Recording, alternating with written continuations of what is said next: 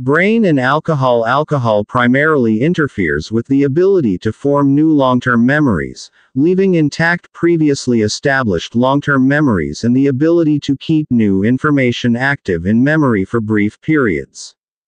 As the amount of alcohol consumed increases, so does the magnitude of the memory impairments.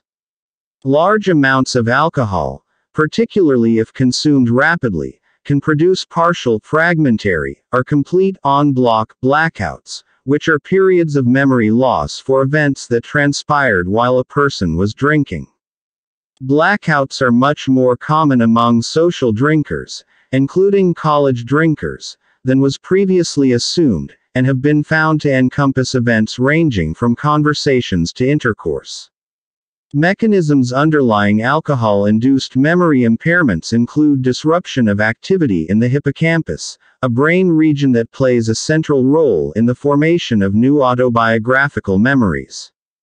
Alcohol primarily interferes with the ability to form new long-term memories, leaving intact previously established long-term memories and the ability to keep new information active in memory for brief periods. As the amount of alcohol consumed increases, so does the magnitude of the memory impairments. Large amounts of alcohol, particularly if consumed rapidly, can produce partial fragmentary, or complete en bloc blackouts, which are periods of memory loss for events that transpired while a person was drinking. Blackouts are much more common among social drinkers, including college drinkers, than was previously assumed, and have been found to encompass events ranging from conversations to intercourse. Mechanisms underlying alcohol-induced memory impairments include disruption of activity in the hippocampus, a brain region that plays a central role in the formation of new autobiographical memories.